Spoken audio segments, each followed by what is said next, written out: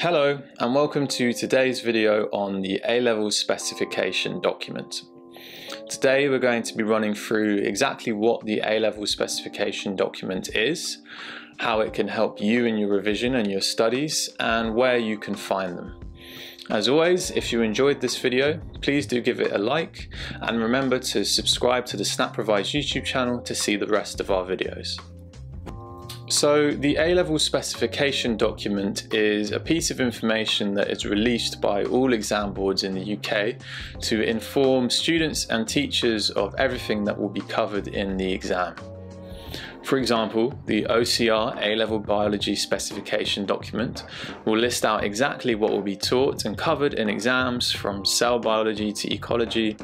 Every topic is listed in there and broken down by exactly what you need to know.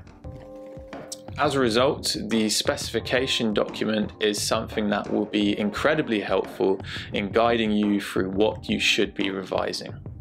When you know what subjects you're taking and which exam board you will be part of, it is really important that one of the first things you do is to look up the specification document that's relevant to you and download it and look through it.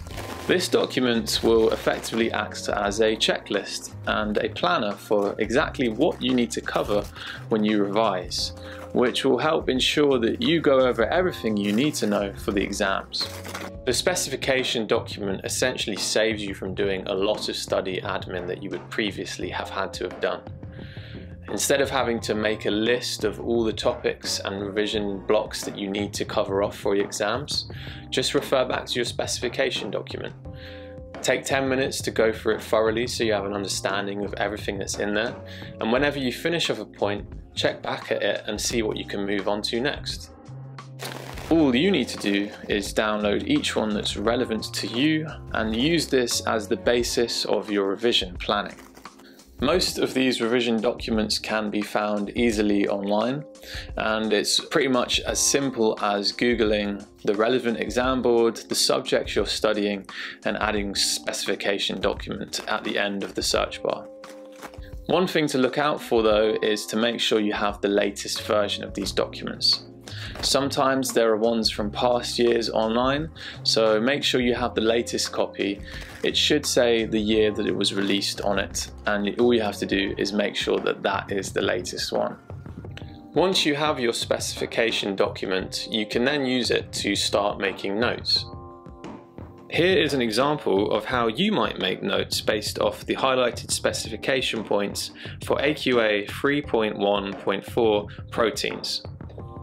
Going through this process will ensure that you have a comprehensive set of notes that will tell you everything that you need to know for the exam without having missed any specification points.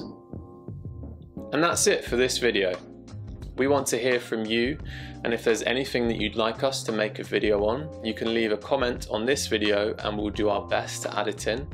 And remember that you can follow us on Facebook and Instagram at SnapRevise, where you can find daily study tips, test questions, and revision content. Thanks for watching the video.